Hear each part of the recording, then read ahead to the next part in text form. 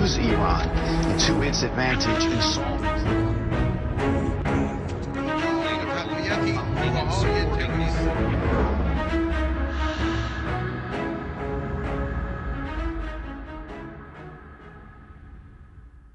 با سلام به بخش خبر تلویزیون ایران فردا خوش آمدید. مجلس شورای اسلامی بار دیگر به وزیر پیشنهادی دولت برای تصدی وزارت علوم رأی اعتماد نداد. فخردین احمدی دانش آشتیانی چهارمین وزیر پیشنهادی دولت برای وزارت علوم تحقیقات و فناوری با 171 رأی مخالف و 70 رأی موافق و 13 رأی ممتنع نتوانست از مجلس رأی اعتماد بگیرد.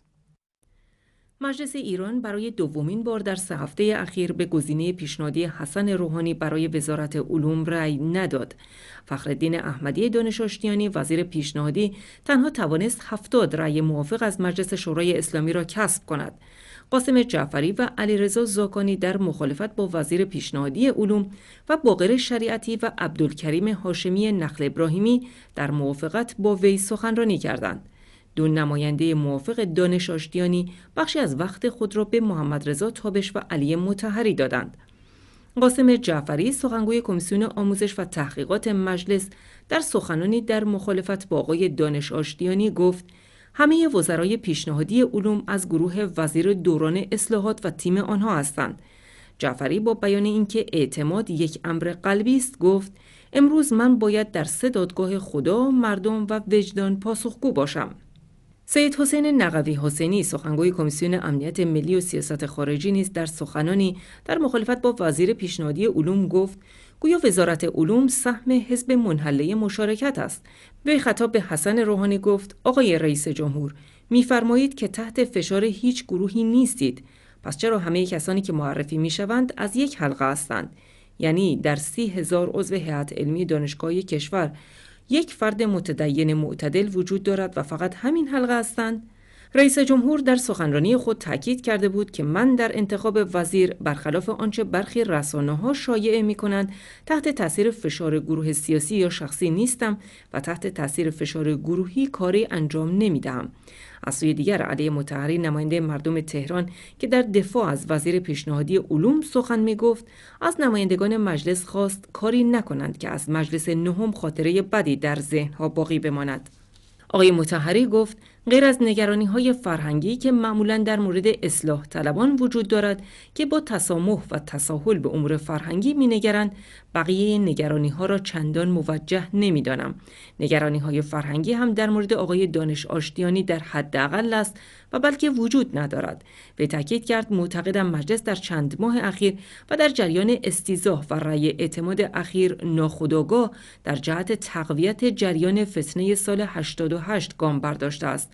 وقتی افرادی با سابقه درخشان در انقلاب را حامی فتنه معرفی می کنیم این سوال برای مردم پیش می آید که این چه فتنه است که بخشی از انقلابیون و بزرگان کشور طرفدار آن هستند. نکند این جریان بهره ای از حق داشته باشد.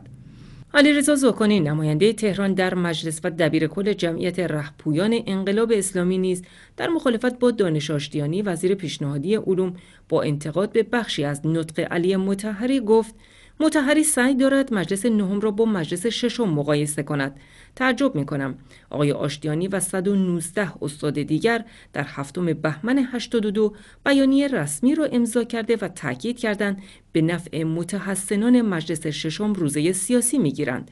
در بیانیه جبهه مشارکت آمده بود تحسن مجلس ششم نقطه عطفی در توسعه سیاسی کشور است و دانش آشتیانی عضو همین جبهه مشارکت است. همچنین محمد رضا تابش یک نماینده اصلاح طلب مجلس شورای اسلامی در سخنانی در موافقت با وزیر پیشنهادی علوم از نمایندگان خواست اجازه دهند دولت کارش را بکند و به وزیر پیشنهادی علوم رأی دهند. سید عبدالکریم هاشمی نخل ابراهیمی نماینده مجلس شورای اسلامی در سخنانی در موافقت با وزیر پیشنهادی علوم با اعتقاد به اینکه کشور به آرامش نیاز دارد گفت ما باید به دانش آشتیانی که سابقه جبهه و جنگ دارد و مدیری دانشگاهی است اعتماد کنیم به ادامه داد 17 ماه است که وزارت علوم بلا تکلیف مانده و 4.5 میلیون دانشجو و تعداد کثیری استاد در انتظار تصمیمات دولت و مجلس هستند و با توجه به شرایط ویژه کشور باید به دنبال آرامش مملکت باشیم. عدم رأی اعتماد دوباره مجلس به وزیر پیشنهادی علوم در حالی بود که حتی احمد توکلی نماینده اصولگرای مجلس نیز روز گذشته گفته بود حجت شرعی ندارید رأی اعتماد بدهید. اما به باور ناظران کار دلواپسان که این روزها در چند جبهه در حال فعالیت هستند از حجت شرعی گذشته است. آنان به طور رسمی مقابل دولت ایستادند. بیشتر احمد جنتی دبیر شورای نگهبان به دولت هشدار داده بود از سپردن مسئولیت به معترضان سال 88 خودداری کند. به گفته او سابقه این افراد و هویت فتنه مشخص است. اما با این حال دوباره می‌خواهند مسئولیت های وزارتی مدیر کلی و ریاستی را به این افراد بسپارند. مصطفی پور محمدی وزیر دادگستری نیز در همین رابطه گفته بود مراجع قانونی و رسمی می توانند تعیین کنند که کسی در اعتراضات سال 88 نقش داشته یا نه. به گفته او برای بررسی نقش افراد در رخدادهای سال 88 باید دو مقطع قبل و بعد از انتخابات را تفکیک کرد چرا که همه افراد تا روز انتخابات طبق قانون مجاز به فعالیت، تلاش و یارگیری بودند.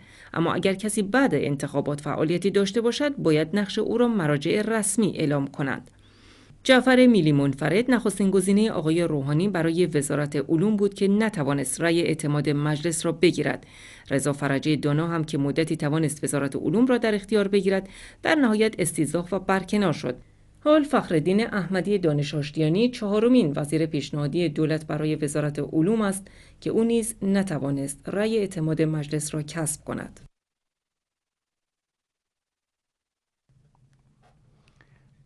خبرگزاری ایلنا گزارش داده میزان قلزت آلاینده ها در تهران نسبت به چند روز گذشته افزایش یافته و فراتر از حد مجاز است.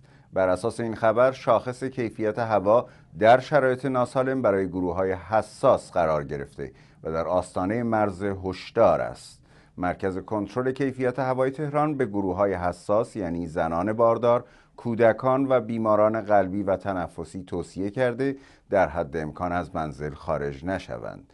اورژانس تهران نیز اعلام کرد نیروهای خود را در میدانهای اصلی پایتخت مستقر می کند تا بتواند خدمات درمانی لازم را به شهروندان ارائه کند.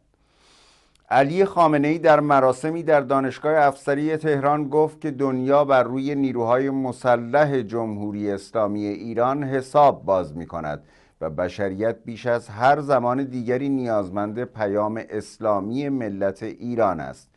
وی ادامه داد افزون طلبان و زورگویان جهانی که از جاذبه پیام رهایی بخش اسلام ناب و تهدید شدن منافع خود به شدت نگرانند از همه ابزارها به ویژه ابزارهای هنری بهره گرفتند تا مردم دنیا را از اسلام بترسانند.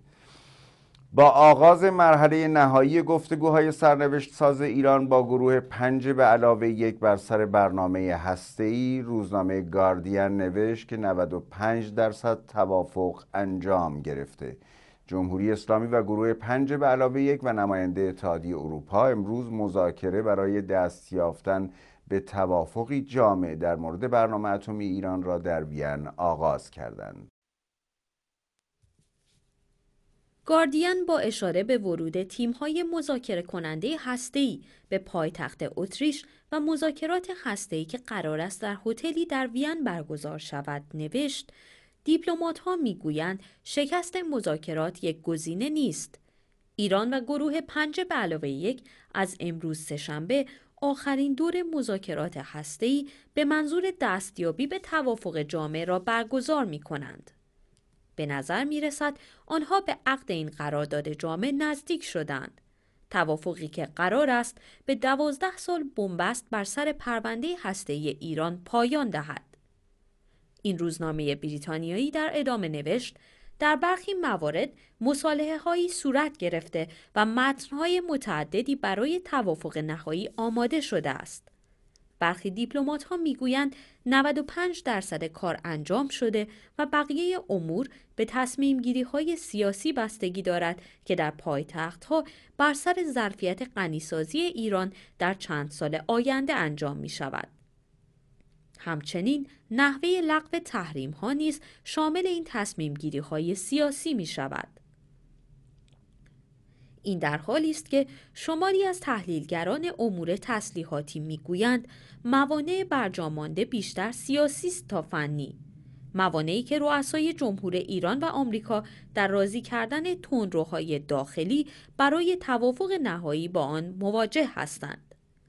جان کری وزیر امور خارجه آمریکا در تاریخ چهار نوامبر به پاریس سفر کرد تا با لورن فابیوس همتای فرانسوی خود در مورد مسئله هسته ایران رایزنی کند.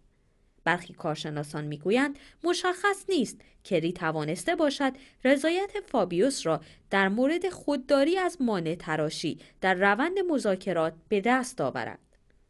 وزیر خارجه فرانسه در جریان مذاکرات هسته‌ای نوامبر گذشته که به توافق مقدماتی منجر شد مواضع تندی اتخاذ کرده بود. یک منبع فرانسوی می‌گوید برای فابیوس روابط با کشورهای عربی حوزه خلیج فارس از جمله عربستان سعودی و قطر مهمتر از موضوعات اقتصادی و روابط احتمالی پاریس با تهران در سالهای آینده است. به گفته او پادشاهی های سنی منطقه به اندازه رژیم اسرائیل در مورد مصالحه غرب با ایران نگران هستند. این در حالی است که پیامدهای شکست مذاکرات جدی و فوری خواهد بود. کنگره آمریکا می تواند تحریم های جدیدی را علیه ایران اعمال کند و وتوی این تحریم ها برای اوباما دشوار خواهد بود. از سوی دیگر تندروها در تهران نیز احتمالا خواستار از سرگیری فعالیت های غنیسازی 20 درصدی خواهند شد که به موجب برنامه اقدام مشترک ژنو متوقف شده بود. به این ترتیب تنش‌های دو جانبه می دو طرف را به سوی درگیری نظامی سوق دهد و این در شرایطی است که رژیم اسرائیل همواره بر اقدام نظامی تاکید می کند. با توجه به ریسک های نهفته در سناریوی شکست مذاکرات همه طرفها در وین تلاش خواهند کرد از شکست مذاکرات جلوگیری کنند این در حالی است که ظرفیت غنیسازی و جدول زمانی لغو تحریم ها به شدت بار سیاسی پیدا کرده و از جمله موضوعات دشوار روی میز مذاکرات به شمار می روند. غرب پیشنهاد تعلیق موقت تحریم های کنگره با استفاده از اختیار رئیس جمهور برای در نظر گرفتن معافیت از تحریم ها را مطرح کرده است. همچنین پیشنهاد رفع توقیف اموال مصادره شده ایران نیز مطرح شده است. اما لغو تحریم های بانکی و نفتی در مراحل بعدی است. تهران خواستار لغو فوری تحریم ها شامل تحریم های شورای امنیت سازمان ملل است. در رویدادی دیگر و همزمان با آغاز گفتگوهای ایران با گروه پنج به علاوه یک نماینده آمریکا در آژانس بین المللی انرژی اتمی می‌گوید که کشورش از همکاری تهران با بازرسان آژانس ناامید شده است. نماینده آمریکا اظهار داشت قرار است امروز سهشنبه 27 آبان نگرانی های دولت مطبوع خود را درباره تعامل نکردن جمهوری اسلامی ایران با آژانس درباره ابعاد نظامی برنامه های را به اطلاع اعضای شورای حکام برساند. ایران از سال 1382 خورشیدی یعنی حدود دوازده سال است که با قدرت‌های جهانی درباره برنامه اتمی خود گفتگو می کند. این گفتگوها در نهایت در سوم آذر سال 1392 به توافقی موقت و شش ماه میان ایران، آمریکا، فرانسه، بریتانیا، آلمان، چین و روسیه منجر شد. این توافق سپس برای یک دوره شش ماهه دیگر تمدید شد و اکنون به آخرین روزهای خود رسیده است. طرفین باید تا یک هفته دیگر به توافقی جامع و مانع درباره حل و فصل ابهامهای مربوط به برنامه هسته ایران دست پیدا کنند. همزمان با شروع مذاکرات هسته‌ای در وین سپاه پاسداران جمهوری اسلامی ویژه‌نامه‌ای با عنوان سی سال اقتدار موشکی سپاه منتشر کرده و طی آن گفته است که ایران با در اختیار داشتن موشک‌های کوتاه برد میان برد و دور برد قادر است اهداف متعددی را در اسرائیل و البته پایگاه های آمریکا در منطقه هدف قرار دهد. خبرگزاری تسنیم نوشته که آمریکایی ها در سالهای اخیر به نزدیکی مرزهای ایران آمدند و پایگاه ها، تجهیزات و نیروهای ارتش آنها در تیررس موشک های ایران قرار گرفته و اسرائیل نیز به عنوان مهمترین دشمن ایران در منطقه در فاصله کمتر از 1200 کیلومتری قرار دارد. بنابراین موشک های دوربرد ایران برای اصابت به اسرائیل کافی هستند. مرکز پژوهش های مجلس در گزارشی از دخالت چین در امور خاورمیانه دفاع کرده. این دخالت را به نفع جمهوری اسلامی دانسته و به مقام های نظامی توصیه کرده از این اقدامات استقبال کنند. این گزارش افزوده ورود چین به صحنه خاورمیانه می‌تواند در راستای موازنه قدرت مطلوب ایران مؤثر و مفید باشد.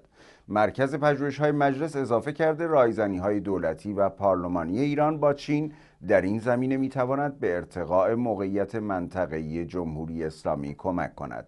در این گزارش از موضعگیری دولت چین در حمایت از بشار اسد تعریف و تمجید شده و علت این موضعگیری تلاش پکن برای رویارویی با سیاست های غرب در خاور میانه اعلام شده است.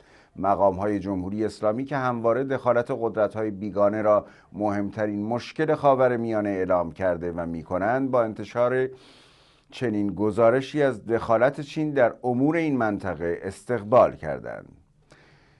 ترکیه با استقبال از توافق نفتی کردستان عراق و دولت مرکزی آن کشور وعده داد. تمامی درآمدهای حاصل از فروش نفت به اقلیم که نزد بانکهای ترکیه است را به حساب دولت عراق واریز کند. بهنام امینی خبرنگار ما از ترکیه گزارش می‌دهد. توافق اخیر اقلیم کردستان عراق و دولت مرکزی این کشور اندک زمانی پس از روی کار آمدن دولت حیدر العبادی در عراق توافق مهمی بود که به ماها مناقشه میان اقلیم کردستان و بغداد بر سر فروش نفت پایان داده. توافقی که حتی با استقبال سازمان ملل متحد هم روبرو شده و باید گفت دستاورد مهمی برای دو طرف خواهد بود. از دسامبر سال 2013 اقلیم کردستان عراق اقدام به فروش یک جانبه نفت از طریق بندر جیهان ترکیه کرده و درآمد حاصل از اون رو طبق توافق با ترکیه در بانک های این کشور نگه داشته بود. موضوعی که خشم بغداد رو در پی داشت. جدا از آنکه روابط عراق و ترکیه به حال تا حدودی بر سر این موضوع رو به سری رفت فراتر از اون دولت عراق در یک اقدام تنبیهی بودجه اقلیم کردستان رو قطع کرد. نهایتا پنجشنبه گذشته که این توافق به دست اومد در گام نخست اقلیم کورستان پذیرفته که روزانه 150 هزار بشک نفت خام در اختیار دولت عراق قرار بده و متقابلا بغداد نیز 500 میلیون دلار به این اقلیم بپردازه. حتی در بیانیه اخیر اقلیم کورستان ذکر شده که روزهای آینده مذاکرات مهمی رو دو طرف برای کنار گذاشتن تمامی اختلافات انجام خواهند داد. اما در طی این مدت 25 میلیون بشکه نفت اقلیم کردستان از طریق بندر جیهان ترکیه به بازارهای جهانی عرضه شده. تمامی درآمدهای حاصل از فروش این نفت هم طبق توافق با ترکیه در بانک های این کشور واریز شده. ترکیه البته پیشتر و در پی اعتراض عراق اعلام کرده بود درآمد حاصل از فروش نفت اقلیم کردستان به صورت امانت تا زمان توافق میان بغداد و اربیل در بانک این کشور باقی خواهند ماند در این رابطه تانر ایلیز وزیر اقتصاد ترکیه روز گذشته ضمن استقبال از توافق اخیر گفته این توافق به ثبات در منطقه کمک خواهد کرد. افزون بر این وزیر اقتصاد ترکیه گفته همه درآمد ناشی از فروش 25 میلیون بشکه نفتی که در بانک های ترکیه واریز شده بود متعلق به ملت عراق است و به حساب عراق واریز خواهد شد.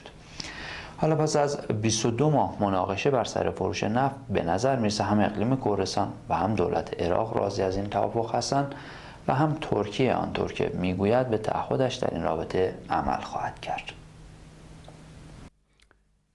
ایران در نظر دارد اوپک را پیش از 166 مین اجلاس آن متقاعد کند تا تولید نفت خود را کاهش دهد. اما به نظر می رسد تهران به کاهش طولانی مدت قیمت نفت تمکین کرده است. در پی سقوط قیمت نفت در بازارهای جهانی در پایین ترین حد خود در چهار سال اخیر دوازده کشور تولید کننده نفت در سازمان اوپک قرار است در روز 27 نوامبر در وین گرد هم آیند. قیمت نفت خام در دو ماه اخیر به زیر 80 دلار رسید در حالی که در تابستان امسال 110 دلار بود. در همین رابطه بیژن نامدار زنگنه وزیر نفت جمهوری اسلامی به تازگی از قطر و کویت دیدار کرد و قرار است امروز سهشنبه نیز به امارات متحده عربی سفر کند. کاهش قیمت نفت بر اقتصاد ایران که پیش از این با تحریم های جهانی زیر فشار قرار گرفته است تأثیر بسیاری گذاشته است. در یک فهرست جهانی آمده است که نزدیک به 36 میلیون نفر از مردم دنیا در شرایط بردگی زندگی می کنند و امروزه بردهداری در موریتانی، ازبکستان، هایتی، قطر و هند بیشتر از همه کشورهای جهان رایج است. سازمان حقوق بشری Walk Free Foundation که برای از بین بردن بردهداری مدرن و بردگی جنسی مبارزه می کند سال گذشته تخمین زده بود که نزدیک به 29 ممیز 8 میلیون نفر در سراسر دنیا در اشکال مختلف بردگی و یا بهره کشی زندگی می کنند بنا به تعریف این فهرست بردگی کنترل یا تملک افراد به شیوهی است که با سلب آزادی و کاربرد خشونت زور و یا فریب از آنها برای سودجویی و یا سوء استفاده جنسی بهره کشی می شود گزارش ها از بیت المقدس حاکی از آن است که چند فلسطینی با ساتور و اسلحه دستی حداقل چهار یهودی را در کنیسه‌ای در این شهر به قتل رساندند. پلیس اسرائیل می‌گوید دو مهاجم به این کنیسه در غرب بیت المقدس را کشته است و در خبر دیگر از اسرائیل بنیامین نتانیاهو نخست وزیر اسرائیل خطاب به اعضای ارشد حزب لیکود گفت که برای برگزاری انتخابات زودنگام آماده باشند. پیشتر یک روزنامه اسرائیلی نوشت که تعدادی از رهبران اعتلاف دولتی به خروج از این اعتلاف تهدید کردند که این امر کابینه نتانیاهو را در آستانه فروپاشی قرار داده است. به گونه ای که دیگر سخن درباره برگزاری انتخابات نیست بلکه برگزاری انتخابات تقریبا قطعی گردیده. بر اساس گزارش های زیپیلیونی وزیر دادگستری نیز تهدید به خروج از کابینه کرده است. وی در چارچوب اختیارات خود تصمیم گرفت که بررسی قانون ملی را متوقف کرده و مانع تصویب آن در داخل کمیته قانون گذاری شود. یک ویدئوی جدید گروه تروریستی دولت اسلامی نشان می‌دهد که چگونه دست کم 16 تن از پیکارجویان این گروه سر سربازان سوری را می‌برند. در میان جلادان چند نفر اروپایی از جمله یک فرانسوی بودند. محمد رضا شاهید خبرنگار ما از پاریس و جزئیات بیشتر. با خبر شدیم در پی انتشار یک ویدیو بعد از قتل 18 سرباز سوریه‌ای یک فرانسوی در جمع این قاتلان در گروه داعش حضور داشته. مکسیموشا ساکن شمال فرانسه در استان نورماندی 22 ساله که دو سال پیش از طریق موریتانی خودش رو به سوریه رساند. پلیس فرانسه از او ویدیویی رو در اختیار داره که در یک مصاحبه تلویزیونی با کانال BFM کانال خبری از طریق اسکایپ او با افتخار گفته است که عضویت این گروه رو داره و از مرگ استقبال می‌کنه. آنچه که برای پلیس فرانسه مهم هست. این است که نفر دومی هم احتمالا در این جمع جهادیون حضور دارن تحقیقات ادامه داره. در جمع خبرهایی که باید در این ارتباط گفت جدا از نحوه زندگی و جذب این فرد به تازه مسلمان شده آمارهای خطرناکی وجود داره. حدود 1500 نفر تا کنون در این شش ماهه کشته شدن. اما اونچه که به فرانسه برمیگرده آمار بسیار هشدار دهنده است 1132 فرانسوی تا کنون به جمع این گروه های تروریستی پیوستن. البته 376 نفر بعد از اینکه ناامید شدن وضعیت رو دیدن به فرانسه برگشتن. 80 نفر زن و 10 نفر خردسال در جمع این هواداران اسلامی دیده می شوند که برای کشتار اونجا رفتن. آنچه که مهم است مسئله مددکاران اجتماعی است.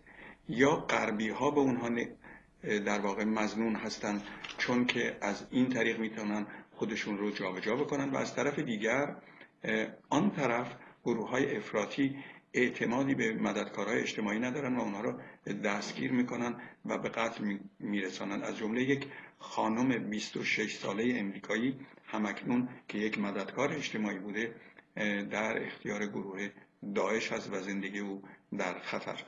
به حال آنچه که مسلم است مکسی موشار با چهره باز برخلاف سایر تروریست ها که خود چهره خودشون رو میپوشونن با آنچه که می‌کند یعنی انتخاب جلاد بودن افتخار می‌کند و فرانسه نگران ادامه وضعیت است پاریس تلویزیون ایران فردا.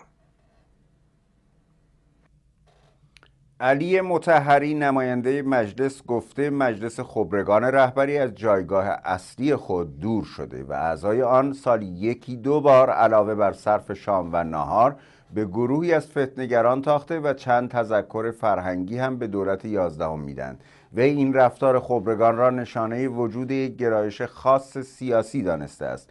علی متحری از جمله کسانی است که در جمهوری اسلامی به سراحت از به انحراف کشیده شدن مجلس خبرگان رهبری سخن به میان میآورد بسیاری از اعضای مجلس خبرگان رهبری از سوی علی خامنه ای پست های بلند پایه حکومتی و مذهبی دریافت کرده و از حامیان سرسخت وی محسوب می شوند.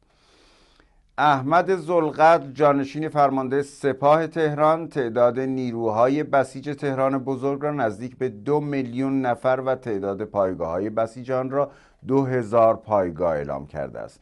زلقدر گفته که 60 درصد نیروهای بسیج تهران بزرگ را مردان و 40 درصد دیگر را زنان تشکیل می‌دهند و همچنین از فعالیت 210 هزار نیروی کادر در رده های مختلف بسیج خبر داده که بدون دریافت پول به سپاه پاسداران در اداره امور بسیج کمک می کنند.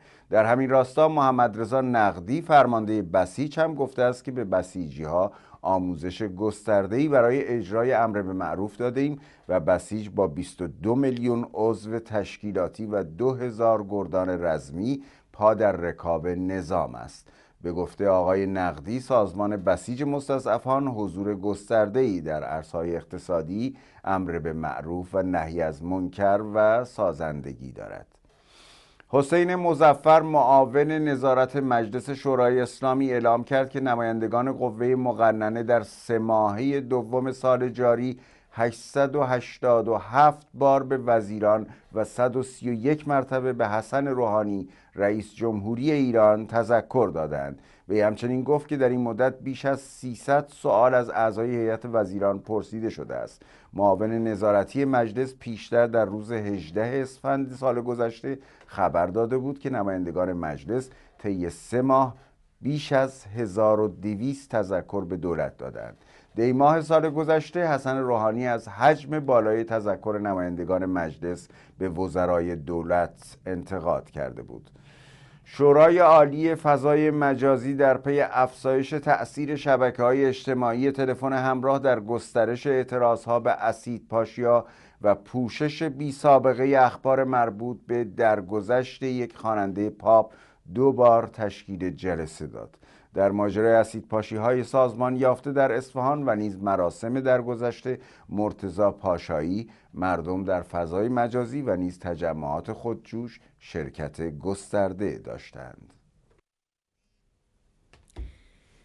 جلسات شورای عالی فضای مجازی که به خاطر اختلاف دولت و قوه قضایی بر سر فیلتر شبکه های اجتماعی تلفن همراه بیش از پنج ماه به حال تعلیق در آمده بود در کمتر از دو هفته تشکیل شده است.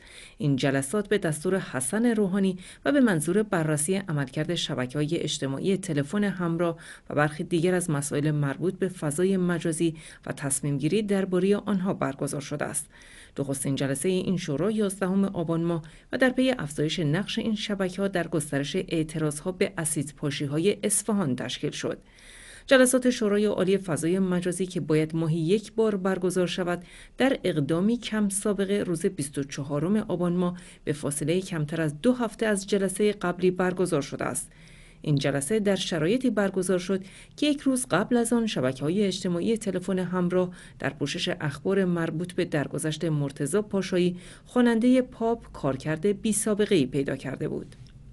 تبادل میلیون ها پیام، تصویر و فیلم درباره مرتزا پاشایی در کمتر از 14 ساعت منجر به تشکیل تجمعاتی در شهرهای مختلف ایران به یاد این خواننده شد. برخی از این تجمعها نیز با واکنش پلیس مواجه شد. یک روز پس از تحرک کم سابقه اجتماعی ناشی از عملکرد این شبکه حسن روحانی با تشکیل دومین جلسه شورای عالی فضای مجازی از فیلتر این شبکه ها حمایت کرد. حمایت سریح رئیس جمهوری ایران از فیلتر هوشمند شبکه های اجتماعی بی ارتباط با افزایش فشارها مبنی بر فیلتر کامل آنها از سوی قوه قضایی سپاه پاسداران و سایر نهادهای محافظه کار نیست. موافقان فیلتر کامل شبکه های اجتماعی تلفن همراه معتقدند در این شبکه ها محتوای مجرمانه تولید و توضیح می شود و دولت هرچه سریعتر باید دسترسی کاربران به آنها را مسدود کند. دولت یازدهم نیز اعلام کرده با فیلتر کامل این شبکه ها موافق نیست و قصد دارد به طور هوشمند محتوای مجرمانه این شبکه ها را فیلتر کند. در همین حال دادستان قزوین تجمعات برگزار شده جوانان در یادبود مرتزا پاشایی را غیرقانونی خواند و گفت فراخوان گسترده در شبکه های اجتماعی نشان می‌دهد که این عمل سازماندهی شده توسط افراد ضد انقلاب داخلی و خارجی هدایت می شود. اسماعیل صادقی نیارکی به وبسایت دادستانی قزوین گفته تعدادی از افراد سودجو با سوء استفاده از عواطف و احساسات مردم و طرفداران این خواننده جوان اقدام به تجمعات غیرقانونی کردند و سعی بر به هم زدن نظم اجتماعی دارند.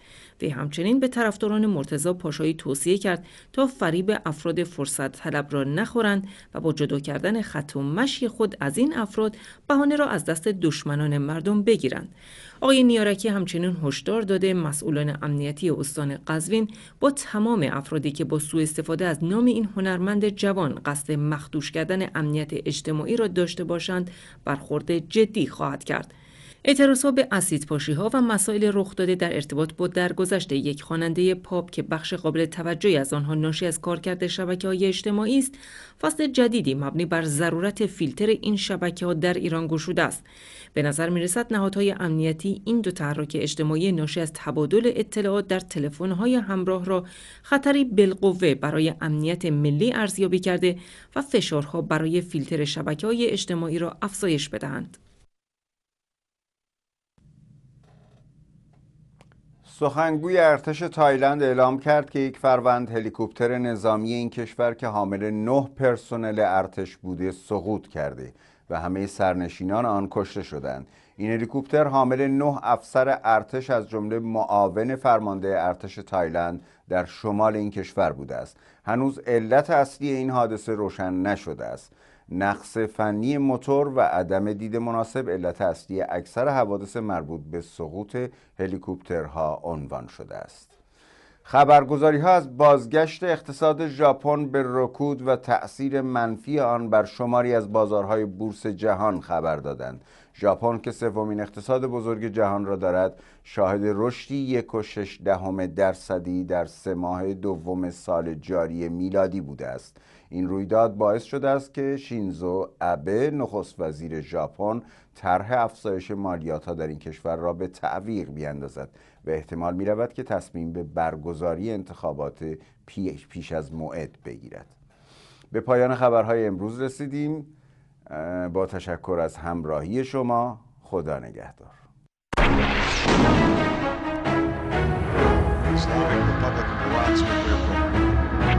Use Iran to its advantage in solving